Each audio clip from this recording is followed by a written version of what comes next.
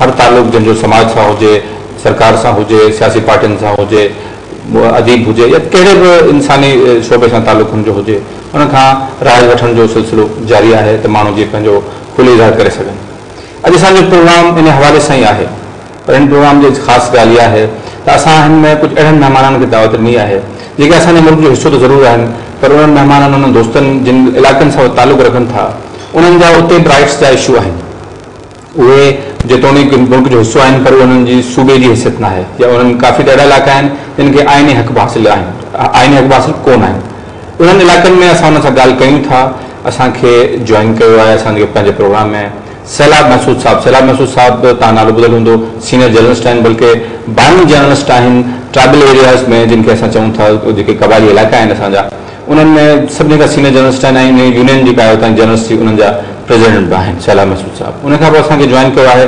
Professor M A R K Khaliq. Professor M A R K Khaliq اہلکار bureaucrat رہا Jammu Kashmir government میں ہانے Jammu Kashmir national Awami party جا اگونا سربراہ ہیں آل پارٹیز نیشنل الائنس ٹھو جا ترجمان میں مرکزی رہا ان سے آزاد کشمیر کے شو حوالے سے گال بول کر جوائن کروا ہے نواز خان نادی صاحب۔ نوازخان نادی صاحب سربراہ ہیں بالاورستان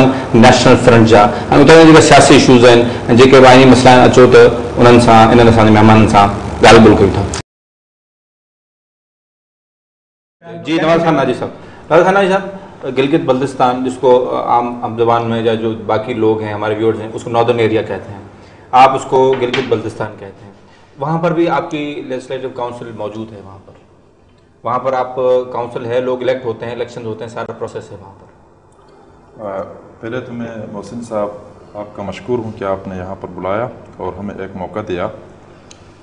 پہلی بات تو یہ کہ سرکار اسے شمالی علاقہ جات کہتی ہے۔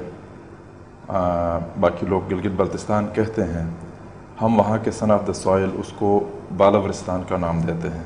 یہ ہمارا سٹانس ہے، یہ ہمارا، ہماری اسٹڈی ہے، یہ ہماری قومی شناخت ہے۔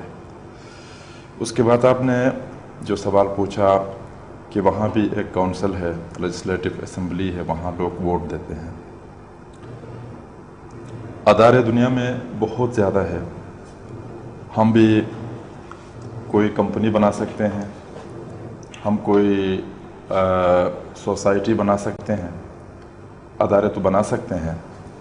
لیکن اگر اس کا کانسٹیوشن نہ ہو، اس کا آئینی انتظام نہ ہو تو اس کو کوئی اس کی کوئی حیثیت نہیں ہوتی ہے۔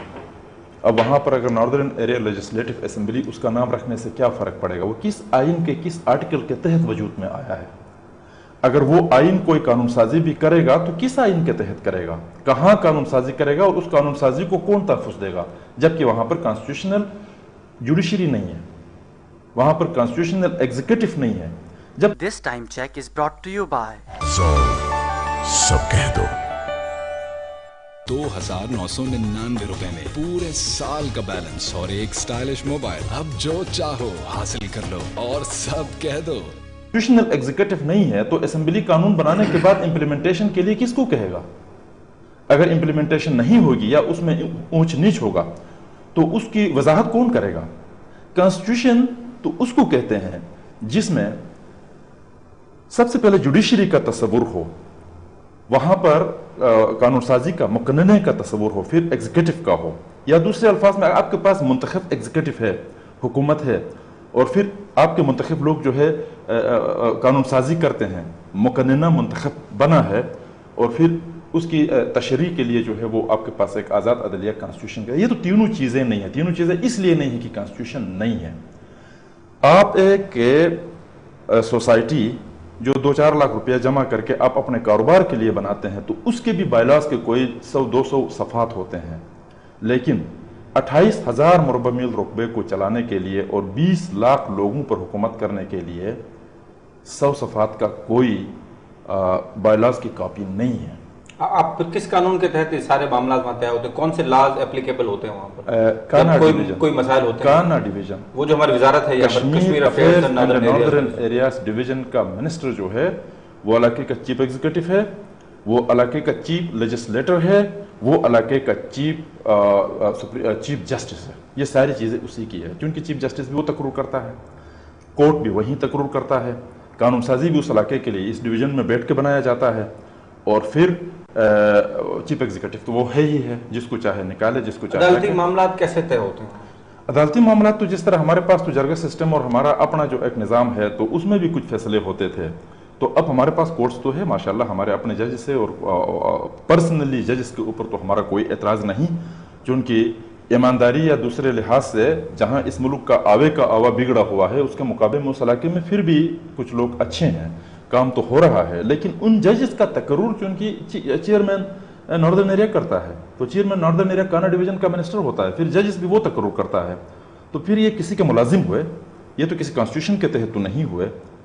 تو اس اور دوسرا ریسٹ ڈسپیوٹس اگر ہو جاتے ہیں تو طے کیسے ہوتے ہیں؟ کوئی جو وہاں جو بھی سسٹم ہے عدالتی جو بھی نظام آپ کہہ رہے ہیں آپ اس کا فائنل ڈیسیشن منسٹر کے پاس ہی ہوتا ہے نہیں اس میں یہ ہوتا ہے کہ فائنل اپر اس میں کانسٹیٹیوشنل تو کوئی چیز وہاں لی نہیں جاتی۔ مثلا میں یہ کہوں کہ ناردرن ایریا کے اوپر پاکستان کی حکومت کیوں رول کرتی ہے؟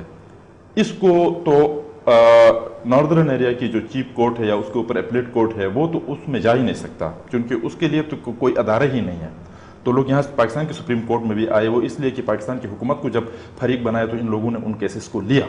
ادھر ان کو یہ اختیار نہیں ہے۔ اب زمینوں کے کیسز ہے یا کرمنل کیسز ہے، ان کو جس طرح اس کی اپنا سیشن ججز جو کرتے ہیں اسی طرح چیف کورٹ بھی کرتا ہے اور اپلیٹ کورٹ بھی کرتا ہے اور فیصلے لیکن آپ یہاں۔ سپریم کورٹ میں نہیں آ سکتے۔ نہیں بالکل ہم تو یہ نہیں سپریم کورٹ کے دائرے اختیار سے باہر ہیں۔ شارٹ بریک کر رہے ہیں ناظرین حسن جی گال بول جاری ہے کہ شارٹ بریک جو ٹائم وٹھوں تھا شارٹ بریک ہم واپس